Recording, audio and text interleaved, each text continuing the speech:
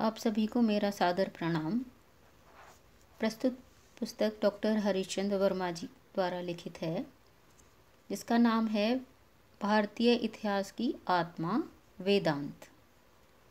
प्रस्तुत पुस्तक में आदरणीय डॉक्टर हरिश्चंद्र वर्मा जी ने अपने देश के प्रति चिंता व्यक्त करते हुए कुछ ऐसे पहलू उजागर किए हैं जिनकी वजह से आज हमारा देश इस स्थिति में लाचार सा खड़ा हुआ है, जिसमें कितने ही धर्मों ने घुसपैठ कर ली। सही समय पर ईश्वर ने राज्य और सत्ता के लिए सही व्यक्तियों को चुन लिया। जो प्रयासरत हैं आज भी।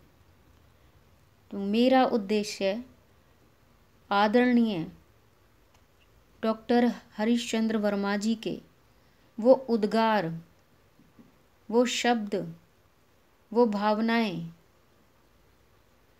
आपके सामने प्रस्तुत करने का है कि उनकी सारी विचार, उनकी सारी भावनाएँ आप तक प्रेषित कर सकूँ। ये अध्याय पाँच है इस पुस्तक में, और page number one, page number है वन थर्टी थ्री, एक सौ तैतीस। इसका विषय है जैसे आधुनिक काल और वेदांत। अठारहवीं शती के मध्य से बीसवीं शती के मध्य तक का। इसमें उन्होंने ये प्रकाश डाला है कि हमारा देश, हमारे लोग कैसे दूसरी संस्कृति और अंग्रेज़ों, मुसलमानों इत्यादि जो अच्छी नीयत नहीं रखते थे, ऐसे लोगों के शिकंजे में कैसे फंसे? तो उसका इतिहास क्या था? ऐतिहासिक पीठिका।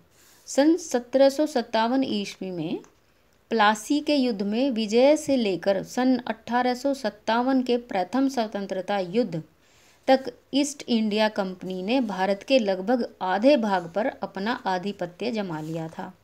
व्यवहारिक रूप से अंग्रेज़ भारत के शासक बन गए थे, लेकिन सिद्धांत रूप में वे दिल्ली के अंतिम मुगल बादशाह बहादुर शाह ज़फ़र के सम्मुख कनिष्ठ ही थे। लॉर्ड डलहौजी ने साम्राज्य विस्तार और अंग्रेज़ों का दबदबा बढ़ाने के उद्देश्य से गोद लेने की प्रथा पर रोक लगा दी थी। इसके आधार पर ब्रिटिश सरकार देशी रियायतों को हड़पती जा रही थी। परिणाम स्वरूप सन अठारह सौ सत्तावन ईस्वी में देसी रियायत के राजा विस्तारवादी ब्रिटिश सत्ता के विरुद्ध भड़क उठे। इससे पूर्व देश के विभिन्न क्षेत्रों में शोषित, उत्पीड़ित किसानों के अनेक विद्रोह हो चुके थे। भारतीय सैनिक भी विदेशी शासकों की अपमान, भेदभाव और उत्पीड़न की नीति से असंतुष्ट थे।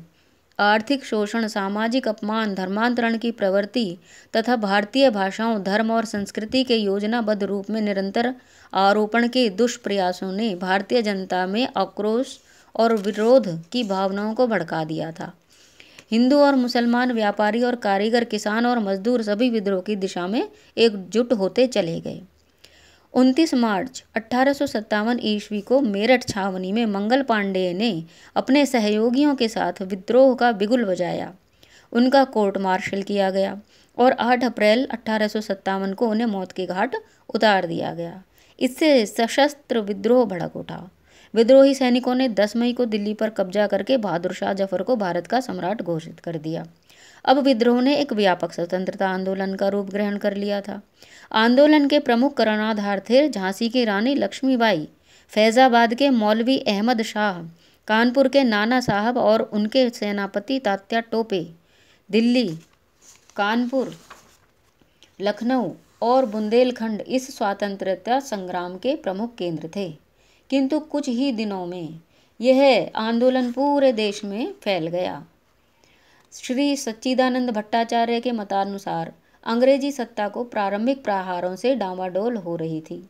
धीरे धीरे सिखों, गोरखों और दक्षिण भारत की सैनिक छावनियों से लाए गए। सैनिकों पर उनका पुनः अधिकार हो गया और कानपुर पर 27 जून अठारह को।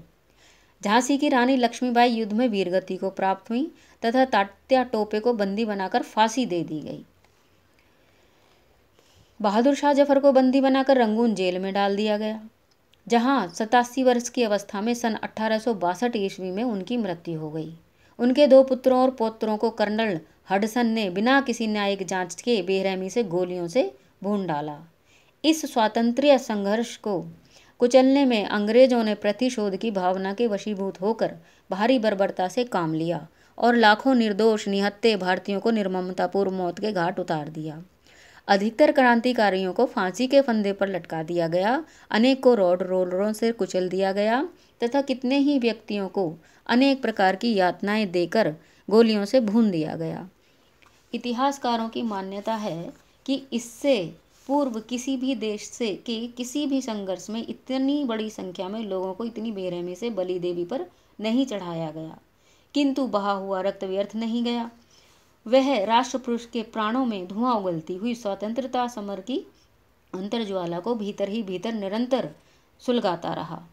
डॉक्टर के दामोदरन ने इस प्रथम स्वतंत्रता आंदोलन की असफलता के प्रमुख कारणों तथा इसके भावी प्रभाव पर प्रकाश डालते हुए लिखा है, देशी नरेशों और सामंती प्रमुखों की गद्दारी के अतिरिक्त इस सशस्त्र विद्रोह की असफलताओं के अन्य कारण थे। अपर्याप्त सैन्य शक्ति, ऐसे नेतृत्व का अभाव जो सुसंबद्ध और केंद्रीकृत हो तथा आंतरिक फूट। किंतु अठारह ने भारत के इतिहास पर अमिट छाप छोड़ी है। इसकी गाथाओं ने भारतीय जनता की नई पीढ़ियों को प्रोत्साहित किया है कि वे स्वतंत्रता के लिए अपना संघर्ष जारी रखें।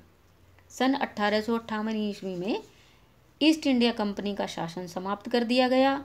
और भारत का शासन इंग्लैंड की महारानी विक्टोरिया के हाथों में आ गया। यद्यपि महारानी विक्टोरिया ने भारतीय नरेशों और जनता के घावों पर मरहम लगाने के लिए अनेक दिल बहलाने वाली घोषणाएँ की, किंतु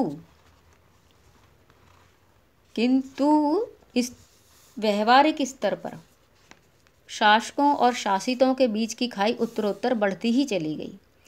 अब विदेशी शासकों के मुख्यतः तीन लक्ष्य थे, अंग्रेज़ी शासन की जड़ें मज़बूत करना भारत में ईसाई धर्म का अधिक से अधिक प्रचार प्रसार करना तथा व्यापारिक दृष्टि से भारत से सस्ती दरों पर कच्चा माल लेकर उससे इंग्लैंड के कारखाने में तैयार किए गए सामान को भारत में ऊँची दरों पर बेचना और मनमाना मुनाफा कमाना। इस प्रकार अंग्रेज़ भारत को मुनाफा कमाने की मंडी के रूप में प्रयुक्त करना चाहते थे। वे भारत को अपनी साम्राज्यवादी, धार्मिक और व्यापारिक आकांक्षाओं की संपूर्ति का अखाड़ा बनाने के इच्छुक थे। धर्मांतरण को वे शेष दोनों उद्देश्यों की पूर्ति का भी माध्यम बनाना चाहते थे। ईस्ट इंडिया कंपनी के बोर्ड ऑफ़ डायरेक्टर्स के अध्यक्ष मैंगल्स ने ब्रिटिश पार्लियामेंट में कहा था, भाग्य ने इंग्लैंड को हिंदुस्तान का विस्तृत साम्राज्य सौंपा है, ताकि ईशा का झंडा विजयोल्लास से भारत के एक छोर से दूसरे छोर तक फहराता रहे। प्रत्येक व्यक्ति को इस बात के लिए अपनी सारी शक्ति लगा देनी चाहिए कि समूचे भारत को ईसाई बनाने के काम में, उस देश में किसी तरह का विलंब न होने पाए। धर्म प्रचार का प्रश्न, अंग्रेज़ी भाषा और शिक्षा से जुड़ा था। लॉर्ड मैकाले ने अंग्रेज़ी भाषा के माध्यम से पश्चिमी ढंग की शिक्षा पद्धति लागू करके पूरे भारत को मानसिक रूप से गुलाम तैयार करने वाले एक ऐसे कारखाने में बदल दिया, जहाँ रक्त और रंग से भारतीय दिखने वाली युवा पीढ़ी अंग्रेजियत में दीक्षित होकर स्वयं को आचार विचार, वेशभूषा और भाषा से अंग्रेज़ समझने में अपार गौरव और गर्व अनुभव करे। तथा अपने धर्म, संस्कृति और राष्ट्रीयता या भारतीयता से कटती चली जाए। मैकाले निश्चय ही एक विकट दूरदृष्टा था। वह अपने उद्देश्य में नितांत सफल रहा। इसका प्रमाण यह है कि आज भारत पर अंग्रेज़ों का साम्राज्य तो समाप्त हो चुका है, किंतु मानसिक दासता का विचार विस्तार करने वाले अंग्रेज़ी के साम्राज्यवाद के कठोर शिकंजे से तो भारत आज भी मुक्त नहीं है। अंग्रेज़ी के साम्राज्यवाद में तो पहले से ही कई गुणा वृद्धि हो गई है। अब भारत के पूंजीवादी उद्योगपति ही अंग्रेज़ी की भूमिका में उतरकर अंग्रेज़ी माध्यम के पब्लिक स्कूलों के माध्यम से मानसिक दासों के उत्पादन की फैक्ट्रियाँ चलाकर मालामाल हो रहे हैं। भारत में धर्म प्रचार के लिए ईसाई मिशनरीज बहुत पहले से आ चुकी हैं। सन 1801 ईस्वी में कलकत्ता में फोर्ट विलियम कॉलेज की स्थापना की गई, जिसमें बाइबल का हिंदी में अनुवाद करने के उद्देश्य से हिंदी विभाग की भी स्थापना की गई। एलेक्जेंडर डफ के प्रभाव से ईस्ट इंडिया कंपनी ने सन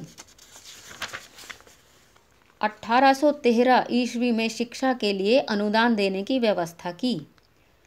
डफ धर्म प्रचार का कार्य अंग्रेज़ी शिक्षा के माध्यम से करना चाहता था। अतः अंग्रेज़ी माध्यम से शिक्षा देने वाले स्कूल और कॉलेज खोले गए।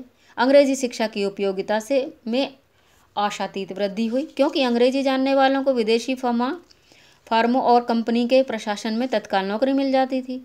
कंपनी ने मुस्लिमों के तुष्टिकरण के लिए कलकत्ता मदरसा खोला। स्पष्ट है कि आजकल मुस्लिम तुष्टिकरण की जिस पद्धति का प्रचलन जोरों पर है, उसका आविष्कार भी कूटनीतिज्ञ अंग्रेज़ शासकों के द्वारा बहुत पहले ही हो चुका था। शेष नेक्स्ट वीडियो में टॉपिक है ईसाई ईसाई मिशनरियों के हथकंडे। जय हिंद।